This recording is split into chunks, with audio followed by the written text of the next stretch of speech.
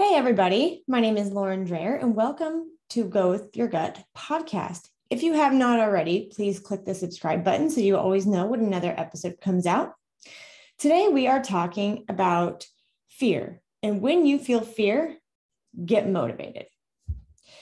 So, what happens when we feel fear? Well, we tend to back out of the things that we're trying to do. We tend to make every excuse in the book for why we don't want to do something, whether it be something small, something big, whatever it is. We find a way to distract ourselves from moving forward. So we find a way to essentially procrastinate and say, I don't want to do this yet, or this can be done tomorrow, or I need this other thing to happen first before I even start this, because your brain is sitting there saying, I don't want to do this. What can what can I do to not make this other thing happen so that I don't have to get to it? And we end up coming with all these things that we need to do so that we don't need to move forward with what we really want to get done. So, first of all, I wanted to break a little bit, I wanted to break down a little bit what fear really is. So, it used to be when back in the hunting and gathering days, it used to be a way for our brains to literally keep us alive. You know, there we'd be people would be going to get food and it, we'd say, I don't know if that berry is poisonous or if it's going to kill me or not. So I should probably not eat it. Or I need to run super fast because this bear, this animal is trying to kill me. Now, those are legit fears because those things could very well kill you. And running and doing that fight or flight save lives. However, now a lot of us, fear is what we do when our brains are entering into unknown territory. When we do something out of our comfort zone or something, maybe we failed at previously, because we fail at it, then all of a sudden we're like, oh, I didn't I didn't do good at this last time. Who knows if I'm going to do it, good at it again? So maybe I just don't do it this time. And then I won't have to experience that failure or I won't even have to think about it if it won't work again. So it's much different than what it used to be because now it's just a mental, a lot of it is just a mental thing anyway. I mean, if you're getting ready to go do some big crazy activity and get an adrenaline rush, yes, that may be a good fear. But if it's just doing something new, something big that's not going to potentially kill you, then yeah, it's it's an irrational fear because it's something that you're making up in your head as to why you shouldn't take a big step, get out of your comfort zone and do something new for you. So, how do you change the narrative? Well, first of all, you have to know what the narrative is. So, I've had a lot of these thought scenarios uh, decently newish in my life. So, I wanted to go over a couple of them, and maybe you can relate to some of these. So, one of them is fear always crept in when I felt somehow personally attacked by someone and I didn't have the confidence to challenge it. So if somebody was telling me that I probably couldn't do something or I wasn't going to be good at something or here's all the roadblocks I see, you better be careful because you don't know what's going to happen with this. Well, yeah, I don't. So whenever somebody would do that to me, I would internalize it so much that I froze. And I'm like, oh, yeah, you're right. I probably can't do this. I'm not good enough to do this.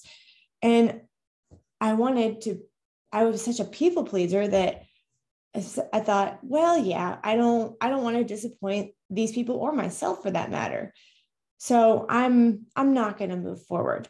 In fact, I wrote a whole chapter about it in the Go With Your Gut book called Recovering People Pleaser because it's pretty evident, it was pretty evident in my life that I did a lot of this stuff and it did hinder me from moving forward with anything else I wanted to do. Another one is fear crept in when I started wanting to do something that I didn't know would work. So that fear of the unknown. And guys, we go into this every single day. We're not sure what's going to happen today. We'd like to know and we try to plan it out, but do we have any idea? No. So every day is technically unknown. And for sure, going more into the future is unknown. We have no idea what is going to happen. So I used to think like that and say, okay, I have no idea what's going to happen. So I I would kind of start doing whatever I wanted to do a little bit, but I wouldn't do it very good because I think I had it in the back of my head of I don't know if I'm going to be able to do this good and maybe I'll move on to something and I'll get a distraction that will allow me to not finish it and give me that excuse to not have to finish it.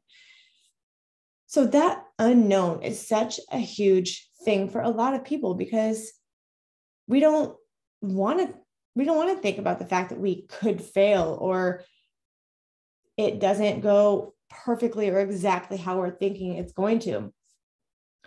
And that unknown is really scary because I mean, let's face it, we all want that certainty. We all want the guarantee that it's going to work. And that's not a thing. There's no guarantee that something is going to work. Another one is that fear always came in when I wanted to go learn a new big thing. Like it was prominent when I was going to write a book when I decided that I wanted to do a blog, and then I had to start a website to do that blog, and um, even starting a podcast. I had no idea how to do any of this, but I started. I had no idea how to write a book, but I knew that I wanted to. So I started researching, and slowly but surely, I said, okay, I can do this. You can learn a lot of different things. But every time I wanted to start doing something new, something big, something that I had never done before, I generally knew nothing about except for, okay, writing a book. Yes, I have to type a lot of things. I probably need to come up with an outline, those general things. But anything else, I had no idea. Publishing a website, my brain didn't used to function like that. So it took a lot for me to say, okay, I have absolutely no idea what I'm doing, but I want this. I want to make it work. And this is a big step in making it work for me. So I'm going to figure it out and I'm going to try it. A big one that I think a lot of people struggle with, that I absolutely did, was changing careers because that's such a huge thing. We go to school for how many years? And we get a degree. We we do all these things to get the degree. We spend a lot of money to do that as well. And then all of a sudden we get to a point where we think okay maybe the industry has changed. Maybe i mean you've changed. That's what happened to me. Something changes and you say i want to go to a different industry. I have this new thing that i like to do and i want to go do that as a job or maybe a side hustle, whatever it is. But you think, okay, how do I start? What is this even called? How would I even do this? It, I don't, my resume doesn't look like I can do any of these things. Do I even have the experience or the credentials or any of that stuff? Well, those are good things to contemplate and good things to figure out for sure. But there is something in your head that is making you think all those things. So you have to change the narrative a little bit for all of those to actually allow yourself to say, okay, yes, I can do it. Now, the last one, get my notes here. The last one is a little bit more personal and it hits some people people's emotions a little bit stronger, it did for me anyway, is fear came when I was worried what all of my good friends and family sorry, my eye won't stay open, what my good friends and family would think. What would they say?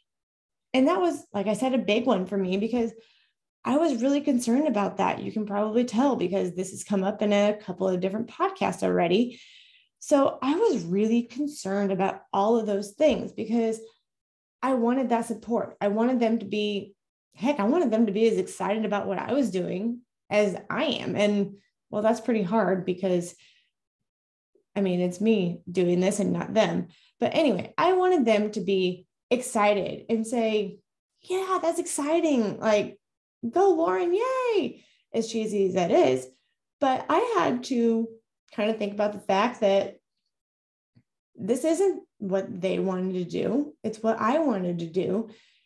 And I had this voice in the back of my head saying, well, they don't, you know, maybe they don't think like that, or they don't, they don't, I, I wanted to say they don't think you'll do great. And that is absolutely not true. But it was me in the back of my head trying to convince myself not to do it and be that people pleaser because maybe my head was trying to convince me that I shouldn't do this or I shouldn't do any of this because it, yeah, it could affect them. People will come to my friends and family and ask about what the heck I'm doing or why I'm doing anything. So I was so worried about that when in all reality, okay, well, they might, but I can handle it. That's fine. So, in order for me to move forward through all of these things, like I said, I had to shift my mindset, change the narrative, and well, reframe how I thought about all these things. So, what I did was I said, okay, I am feeling fear and I'm feeling super nervous about how my friends and family will react. Will they really react bad? Or maybe they'll be super proud that they know this is what I like to do. They know that this is important to me and they'll be absolutely excited and say, you know, good for you. Good for you for moving forward and doing what you want to do instead of, well, not. Instead of saying, yeah, I can't do this. They'll be excited for me. And they may not say it how I want them to say it, but maybe they won't say anything at all. And that'll be just as good. When I was feeling attacked by people and not, hopefully not physically attacked, it wasn't for me, but when people would come and tell me in some way or form, not necessarily bad form come and tell me I don't I don't like what you're doing. I don't want you to do this.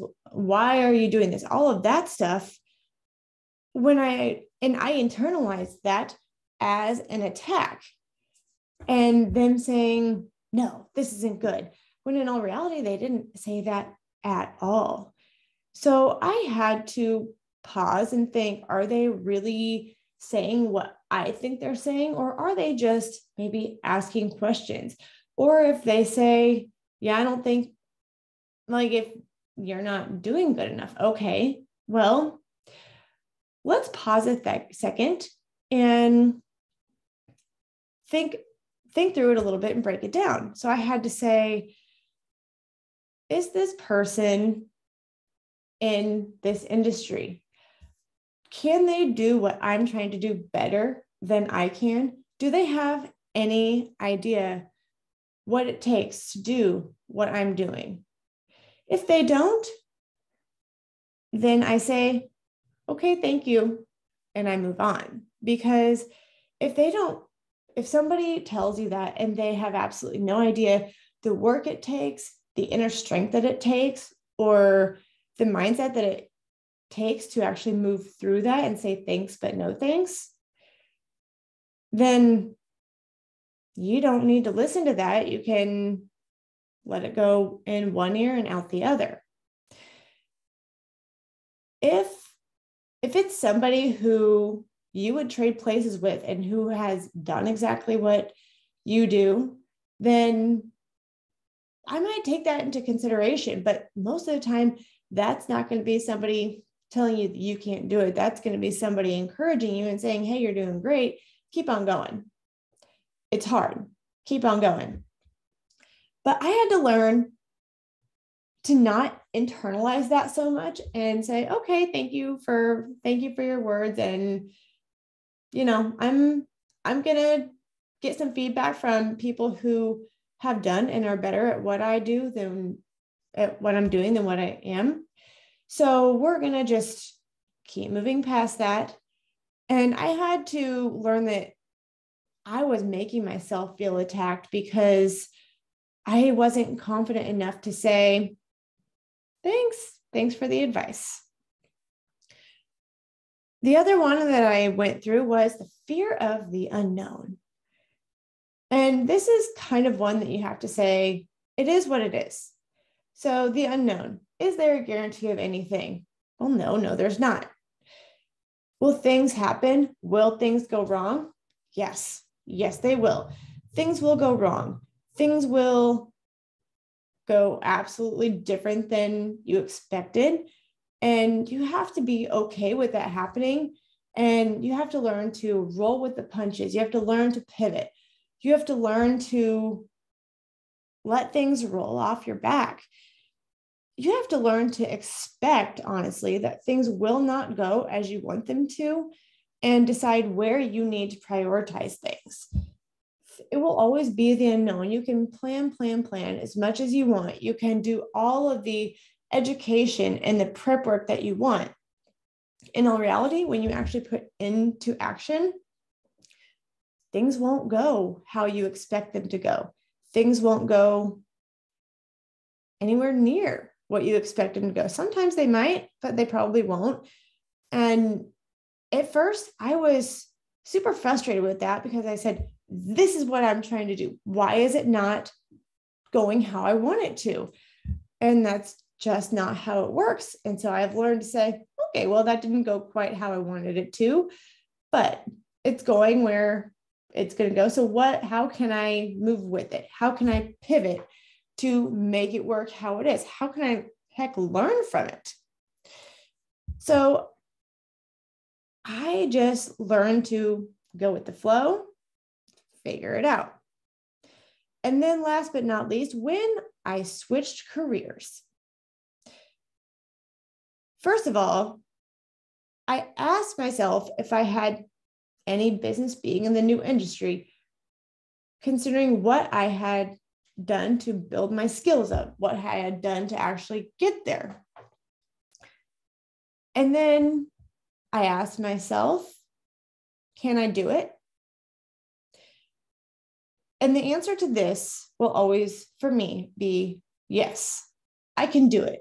Why is it always yes? Because as I have started all of these new things, as I have gained these new skills, no matter what you're doing, I didn't used to trust myself that I could figure it out. I used to lean on a lot of different people to figure it out for me. And then I'd say, okay, great. Thanks for that. Now I know how to do it.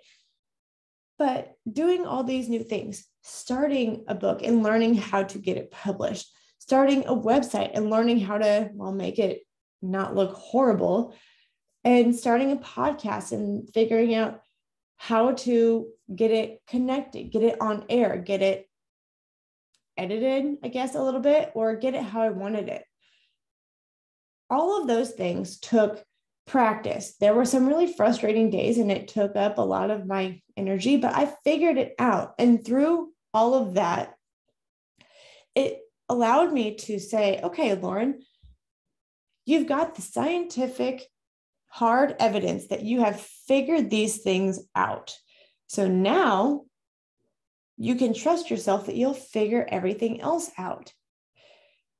So I learned to trust myself that I would figure it out. So now I know whenever I do something, it may take me longer than expected. It may not look how it's going to how I wanted it to look in the end.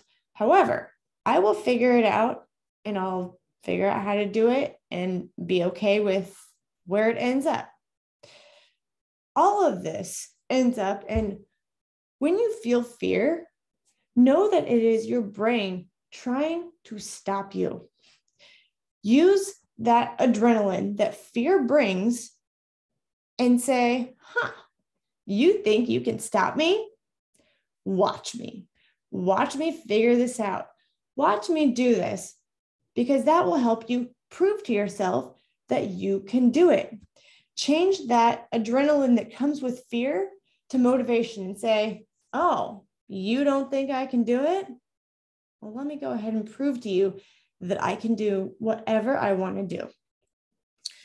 Learn to trust yourself to figure it out. How? By taking that dang action, taking the action, doing the hard thing. And whenever fear comes in, you say, Oh, good try. I see where you tried to come in this time, and I see where you tried to stop me. Guess what? It's not going to work. Doing the thing, doing the hard thing. The more action you take, the more evidence you can give yourself that you can do it, the more you will be able to shift that mindset and say, You're right, I can do this. I'm going to figure it out. It doesn't matter what somebody else says because I know I can do it and I want to. So I'm going to figure it out. Use that adrenaline that comes with the fear, wherever that fear decides to sneak in, because it's sneaky. Use it and say, hmm, I'm going to use that for the motivation to figure it out and do it, because that's the only way I am going to move forward. So, as always, go with your gut and then keep going. Until next time.